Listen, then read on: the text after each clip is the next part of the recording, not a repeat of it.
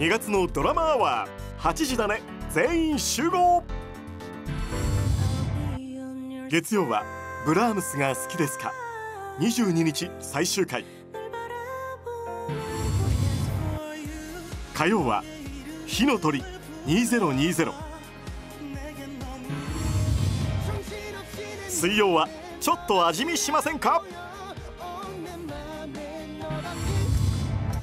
木曜はチャンドンユンクリスタル共演サーチ11日スタート。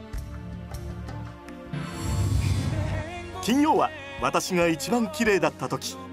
12日最終回。そして19日からは超話題作ペントハウスがスタート。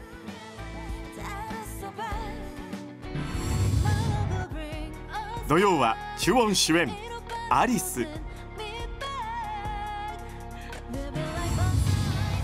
日本の同名ドラマをリメイク「僕のヤバい妻」14日スタート。